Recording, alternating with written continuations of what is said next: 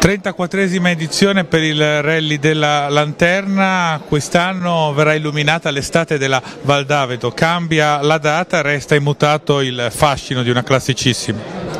Sì, il rally della Lanterna mh, ha confermato il format dello scorso anno dopo il grande successo che abbiamo avuto in questa prima fantastica edizione tutta in Val d'Aveto.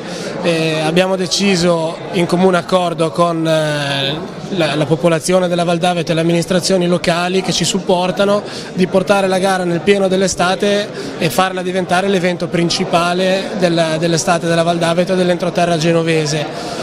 La gara avrà delle piccolissime modifiche rispetto all'anno scorso, eh, toccherà anche la provincia di Piacenza con una prova speciale sul territorio del comune di Ottone,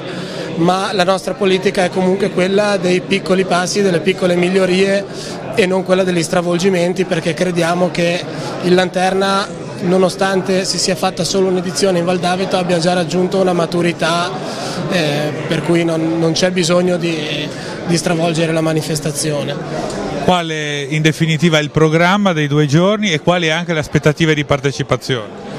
Dopo i più di 100 iscritti dell'anno scorso eh, ci aspettiamo e speriamo che ne arrivino di nuovo tanti, però non sarà facile replicare quel grande successo. Essendo in mezzo all'estate e un po' più lontani dal periodo delle ferie, per gli italiani forse si potrà, ci si potrà avvicinare a quel, a quel numero eh, che dire, noi ce la mettiamo tutta per cercare di, di far arrivare gli equipaggi. È anche vero che la Val d'Aveto offre un ambiente molto accogliente e tanti equipaggi, soprattutto quelli che vengono da fuori, ne approfittano, si portano la famiglia, fanno qualche giorno di vacanza in più e, e questo è un bellissimo esempio